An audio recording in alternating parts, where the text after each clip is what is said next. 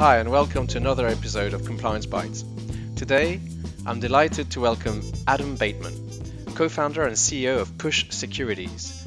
It's based in the UK and it focuses on cybersecurity. Adam has been in the business for more than 16 years, and what I love about him is that besides being the CEO of a successful company and having a wealth of experience in the industry, he started as a hacker himself when he was young in his bedroom. Adam, welcome to the show. Hi, Jerome. Thanks for having so, me. So, Adam, we're going to talk a little bit about cybersecurity, which is a, a, huge concern to our client base for many different reasons. One, it's become more prominent, and two, as regulated entities, they really need to stay on top of the risks and mitigating those risks. As a general sort of starting point, what's been happening in the cybersecurity industry recently, and how can people keep up to date with the latest trends? Yeah, great question. So I'm taking the second part of that question first.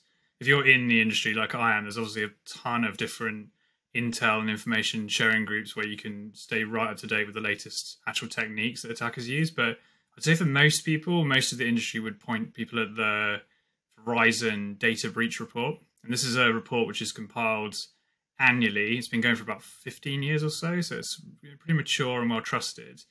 Um, but what they do is they compile the better part of a million incidents and they put all that data together and draw trends from it. So you can get it free from the website. It's a really good place to start.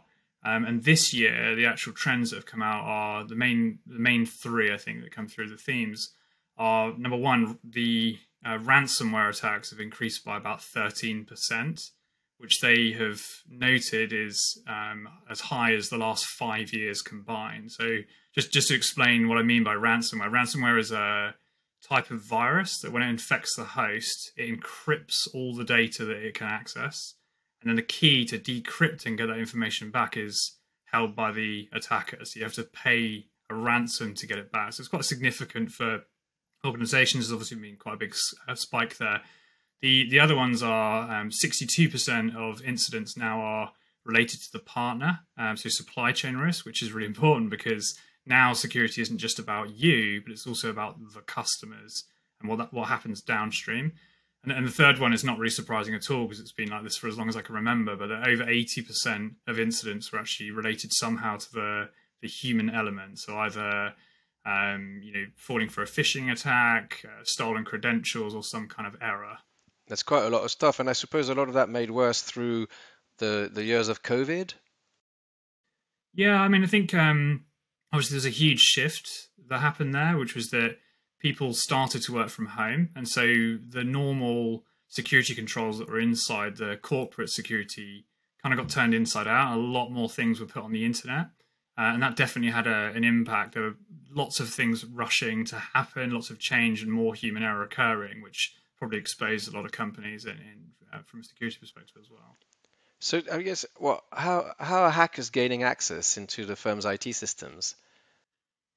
So I mean, the, the detailed techniques vary quite wildly, but the actual top level MO, if you like, the approaches have, have stayed fairly static. Like, there are really three top level ways, and I think the first two of those are very much on people's radar. The third is uh, is definitely not something people are thinking about as much, and we're working to raise awareness of that. So the first one is you scan internet facing systems. So, for example, you identify companies' websites, mail servers, and those sorts of things, and then you um, identify vulnerabilities in those and use those to sort of go through the file and into the internal network. And that, that was prevalent in the 2000s and as an industry, we've got quite good at that, but that um, still does happen today. So attackers then shifted their focus into um, actually targeting an organization's employees directly uh, through what we call a spear phishing attack. So phishing is about tricking an employee to click a link and take some kind of action, like entering their username and password into a, a fake website so the attacker can steal it. Spear phishing is then when that malicious intent is to run a virus of some kind. And when that runs, it then allows the attacker to take control of the uh, the employee's laptop, and then they can perform actions as if they were that employee. So they can then um, at that point they can access all the data they can access. They can move laterally inside the network as if they were that employee. And then the third category we're now seeing that people aren't thinking about is actually attacks against SaaS security. And the reason that um, people aren't thinking about it is because people don't tend to think about SaaS, which, by the way, is um, and, and any software which is not installed on your local laptop is instead of web portals, things like Office 365, Google Workspace. People tend to not think about a lot of those SaaS applications as part of their infrastructure. Um, they think about everything that's sort of hosted inside the company as part of their network. But actually, that is quite a significant now part of their infrastructure. There's 25,000 SaaS companies in total now. Um, and uh, attackers gaining access to those can have quite a significant impact to an organization as well. I mean, that's huge, right? In terms of what you've described, in terms of the, the, the many doors that they that hackers or, or criminals can can use. I presume just touching on that third one, the SaaS, everything is SaaS today. And I remember the days when no one wanted to be on the cloud and, and you know, we had a small business server in our in our company. And that always felt safer because you had more controls. And then we were led to believe that, you know, we couldn't really keep up with everything that was happening. So it was not so safe. And in a way, everything on cloud was better. Um, how do you break into a cloud? And if you're a massive internet company, is that literally impossible? And therefore, we can rely on that. And when you say there's 25,000 cloud companies, is it the smaller ones that we should be watchful about, or is it everyone? Yeah, it's an interesting an interesting shift that happens. There was definitely a nervousness when people went from on-prem, you know, as in physical servers, to the cloud. But that has really, I mean, everyone has accepted that the shift to cloud has happened. You know, it's, it's where it is, and employees are in a position now where they can self-adopt IT. And it's quite an interesting, uh, it's quite an interesting paradigm shift. If you think about it, IT has gone from being centralized, you know, underneath the control of IT, to becoming decentralized. Um, and now employees are in control of adopting the SaaS platforms uh, across all of those. Now, what's happened as a result of that, though, is that security teams have started to think about security as being someone else's problem because now it's up to the the vendor or the owner of those SaaS platforms to do the patching and make sure that their web applications are secured. But the bit that people need to remember is that we still own the user accounts that are created on those. And so if those accounts are weak somehow, like they don't have a strong password or they don't have certain security controls like two-factor authentication um, enabled, they are our responsibility. And so the way attackers will break into those accounts is to use stolen credentials or credentials that have been exposed on the internet through some kind of prior breach and, and actually scan across that list of uh, popular SaaS applications in order to pick off weak user accounts and gain access to those. So, so I guess that you know, in terms of what people can do to mitigate the risk of cyber attacks, we're still talking about passwords, like we've been talking about since since software was invented, you know, not not using the name of your pet dog, as it were. Um, two-factor authentication, I think that's been largely adopted, not always, but we understand that really well, I think now. Having said that, I'm not sure every um, CRM, which is usually on the cloud, as they may be used by many uh, businesses, are necessarily subject to two-factor uh, authentication. And I presume in our world, a lot of this guidance about what to do is is guidance only, and it would come from the FCA or GDPR rules. Um, but so you're still seeing people struggling with such things as as you know account protection, whether it's on cloud or, or not. And what what do you think we can do in terms of education educating clients about um, security risks or, or, best practices? Yeah, we're, we're definitely still seeing it. I think um, the the rise of phishing and um, the awareness of that has, has driven the fact that multi-factor authentication is important. And we've definitely done a lot better there. But what we're seeing is that people are applying things like multi-factor authentication and strong passwords against their core SaaS apps that they know about, like Google Workspace, Office 365, and those types of things. But there's such a huge number of SaaS applications coming online every day, and the capabilities of those are increasing so much that there are a ton of SaaS applications that now people don't even know about. They're not even aware. Um, so I read a survey recently that said you know 80% of employees will adopt SaaS inside an organization without first getting approval from from IT. or security. And so there, you know, potentially you have this SaaS sprawl or shadow IT issue where there are lots of different SaaS platforms spread across the uh, the internet in a lot of ways. Um, and yeah, I mean the, the, the main thing there is um, how do you then centralize and get employees to enforce MFA across all those systems where you don't even know about them? Yeah, for sure. Yeah. For sure. And I suspect the use of working from home laptops and or even sometimes I assume because you can log in to your cloud email system uh, from home using your own desktop, that has increased uh, some of the risk as well as what you're suggesting, which is that some employees are allowed to add a new software which will help them do XYZ faster. That's on cloud, but nobody's really checking the credentials of that cloud provider or that that's where that software is hosted. Just going back to that one point though, would one feel safer? And I know we don't want to discriminate against smaller businesses at all, but would one feel at least safe if you were looking at the three top cloud providers within not notwithstanding the account setup and everything else, but within that environment as being less hackable than what would have been your old school premise type server. Is that still a, a, valid assumption?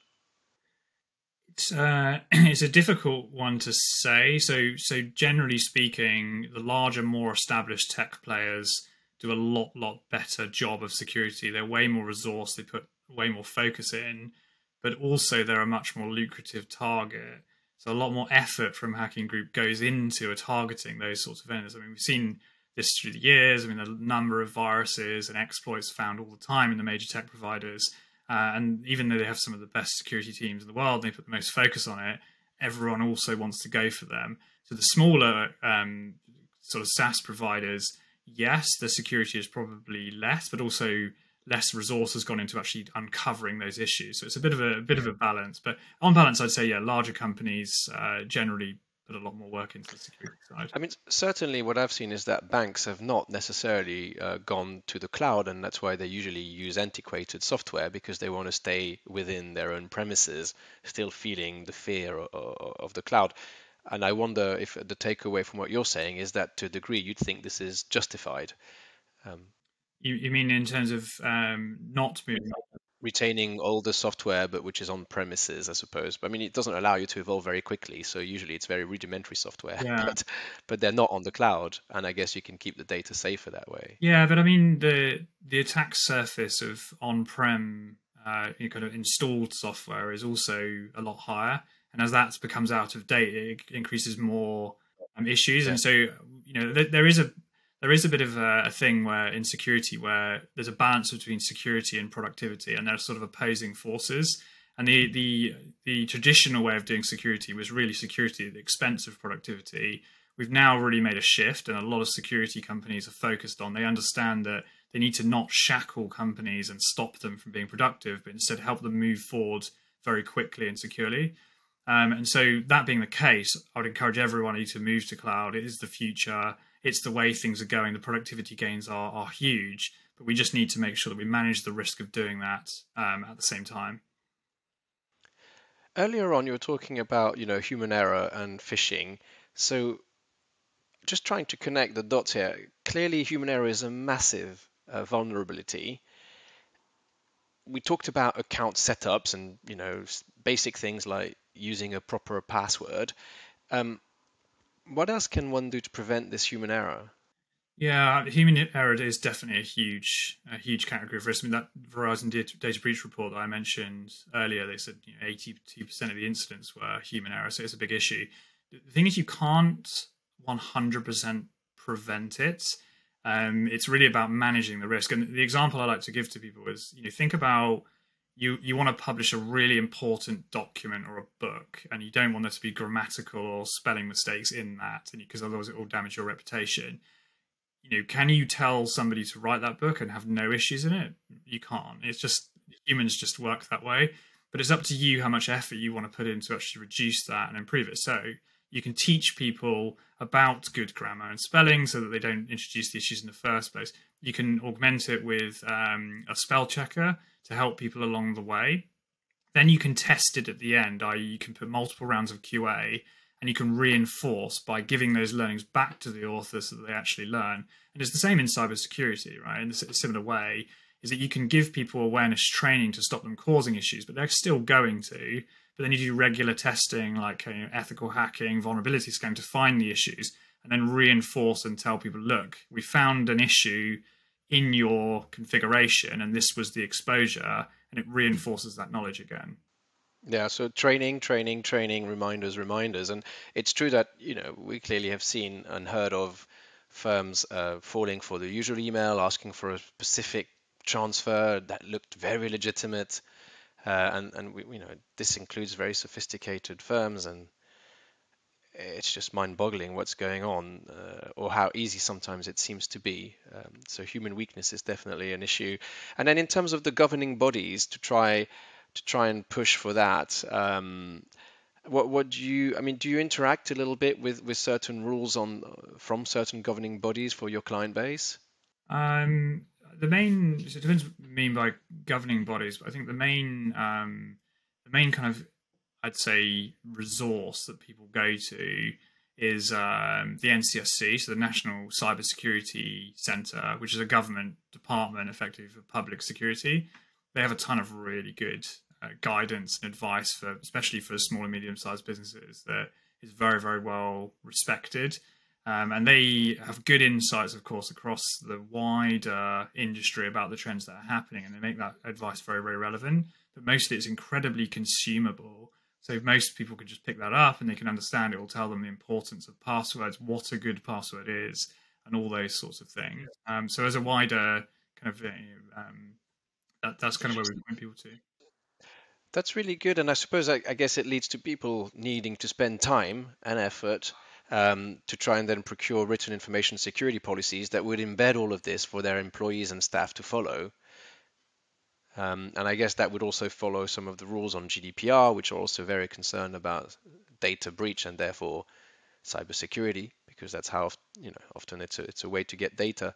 Um, I suppose if we're looking at the the um, the world of investment firms, when you're being asked to help or, or, or, prevent such things happening, what are you thinking of in terms of protection, in terms of who could potentially suffer from such an attack and, and how you can help? Yeah, great question. So the, the classic way to think about cybersecurity is, is what they call the CIA triad, which is dated back from you know when I when I first joined the industry. The CIA is basically confidentiality, integrity, and availability, right? So confidentiality being can an attacker gain access to information and get eyes on something they shouldn't and benefit from that some way? Integrity is about can they modify data? So the classic scenario is, you know, college student hacks in and changes their grades, for example. And then availability is about operational outage. Like can you bring the company to its knees like a ransomware attack? So, so you think about everything through that lens and then think about who would want to achieve those. And that's very personal to the business, depending on what you're trying to defend. Um, but as we said before, the partners now are a, a, big part of this. So when you're thinking about how those things can apply, there's the firm itself that can get compromised. Right, so operational outage, ransomware across everywhere, stopping that business from operating or information being stolen. But there's also the their customers. So if the attacker, the attackers love to target people that they consider to be information aggregators. So if somebody is pulling together information from multiple firms into one location, the attacker could just target that one location to get access to lots and lots of sensitive data from lots of companies in one go, rather than having to target, say, 100 separate companies. Yeah, I guess. And th- th- does that go back to, uh, I suppose, controlling? I mean, controlling your your vendors, your your supply chain. Yeah, supply chain's a very very big topic at the moment. Uh, it's a very difficult one to to manage. But the way we it can become quite overwhelming dealing with cybersecurity, and the the the actionable part that we say to people is it's really important to first of all think about what are you trying to protect.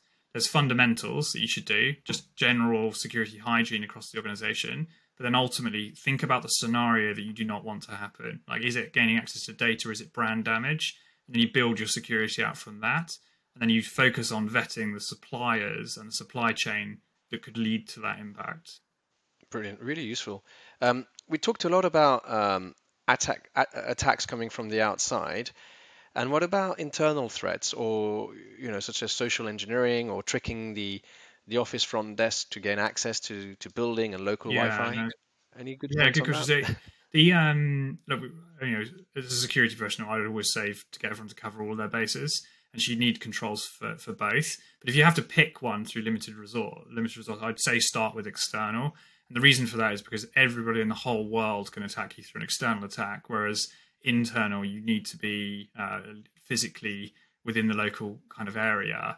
Um, but the thing with those is that they're very difficult to defend because what you're doing is exploiting human trust. So if we were to, for example, uh, we used to do attack simulations as part of our last company where we'd simulate attacks and we'd often do social engineering engagements. And what you're looking to do is to actually um, you're inheriting the trust of employees. So, for example, if I go and convince a manager of a department that I am who I say I am, when they then hand me off to an employee, that person says, "Oh, hi, this is Adam. He needs X." That second employee will give you anything you need, uh, and people generally want to trust people. We find, and just to give you an example about how these these play out, one of my colleagues did a, a social engineering engagement against a company and um, it was quite a secure facility that was difficult to get into. And he actually went to the effort of creating a, a fake logo, a business card. He had a clipboard with everything done, and he turned up to the the front desk, and he said to them, "Oh, hi, I'm a health inspector. I'm here to check out the kitchen." Now that was a really clever move because everybody then just immediately went into alarm mode,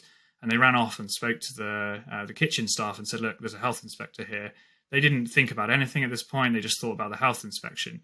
And then my colleague, obviously being a security professional, knows nothing about health inspections, but actually conducted a full fake health inspection, you know, checking that everything was safe in the kitchen.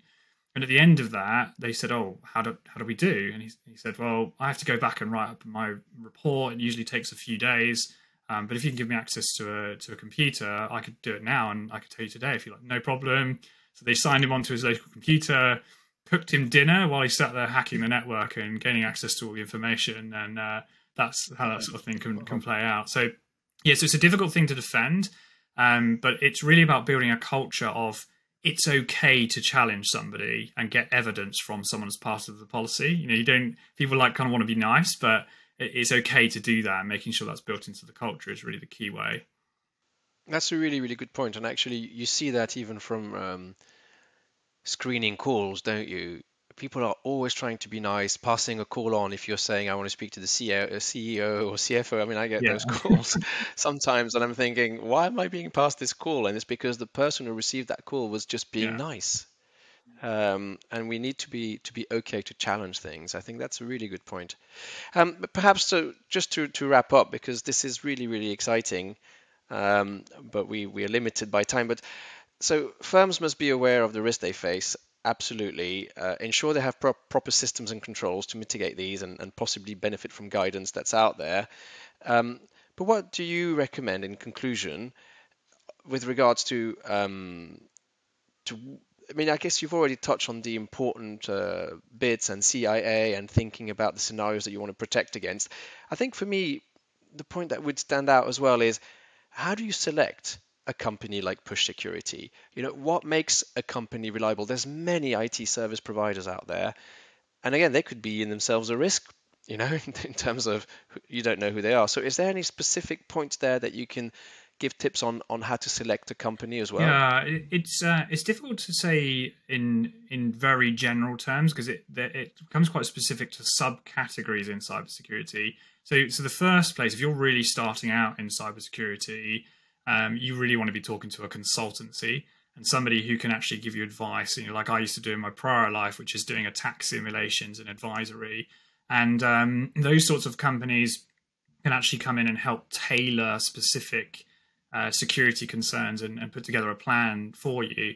And those companies, there there are actually um, like a Crest, for example, uh, which is a an independent body which effectively gives a, a company a stamp of approval and in order to do that, you have to make, meet certain criteria, which includes people with you know consultants within that firm undergoing a, a pretty rigorous and well respected exam to make sure that they you know, really know what they're talking about when it comes to security. So the so the CREST certification is a good place uh, to go for that side because you know you're getting a certain level of expertise and you're getting the right advice. In terms of then other vendors and places that you you work, there's obviously the major accreditation. So for example, um, ISO or SOC 2, which is more common in, in, the United States, which just says that you are at a certain level, which means that in terms of vetting a partner, you know that their security is a, a level that's kind of uh, reasonable enough uh, to you.